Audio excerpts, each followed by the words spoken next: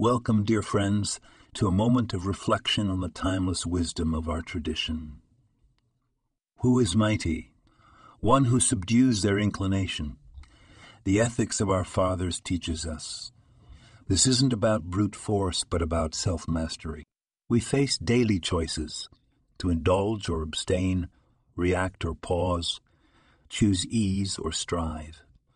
True strength lies in recognizing our impulses and choosing the path of growth, even when challenging. This internal struggle shapes who we become. This podcast was produced and sponsored by Daniel Aharonoff